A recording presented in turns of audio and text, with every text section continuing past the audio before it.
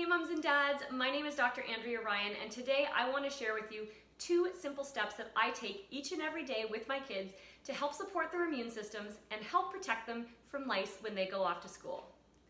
The first thing I like to do is use On Guard.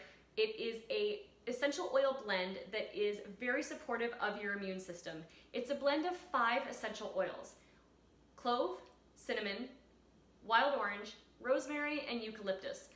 Those five essential oils work together in order to support your kid's immune system throughout the day. One of the things I love about this is that it comes in a really super easy roll-on formula that you can roll onto the bottoms of their feet, the backs of their neck, onto their wrists, wherever you feel it's important in order to make sure their immune systems are supported.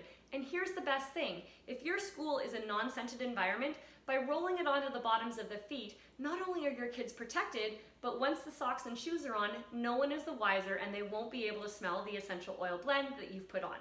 So On Guard is my go-to when it comes to immune support. It's a daily habit. Each and every morning we say oil up and our kids all take off their socks. We rub them down on the bottoms of their feet with the On Guard essential oil blend and their immune systems are supported throughout the day.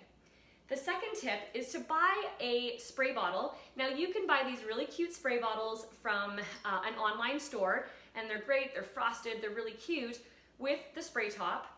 Or you can simply reuse a Perrier bottle and any regular spray top will screw on to the top of a Perrier bottle. It doesn't have to be fancy, it just has to work because this is going to be your life spray. I fill the bottle, majority of it with water, and then I add in five drops of tea tree or melaleuca, and then five drops of either peppermint or clove, or a combination of all three.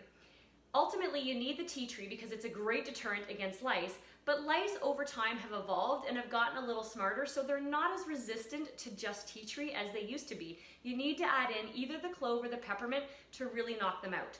And then what I do is simply spray down my kids' hair, the insides of their hats, the back of their backpacks, scarves, back of their winter coats or fall coats if it's that time of year, and by that, I'm just protecting and making sure that we don't have lights either coming as we leave, we wanna protect them throughout the day, and then also when they get back in case for whatever reason they have been exposed to it.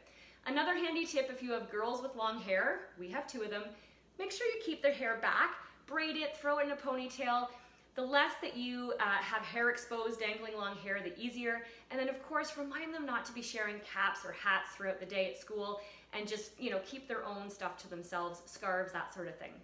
I hope you found that helpful. As a recap, on guard on the bottoms of their feet to help protect with their immune system and a combination of tea tree, clove, and or peppermint in order to support them so that they don't have, or they have a much less likelihood of bringing lice into your home as well. Thanks so much, and I hope you found this helpful. If you have any questions, just put them in the comment section below, and I'll be sure to answer them as soon as I can.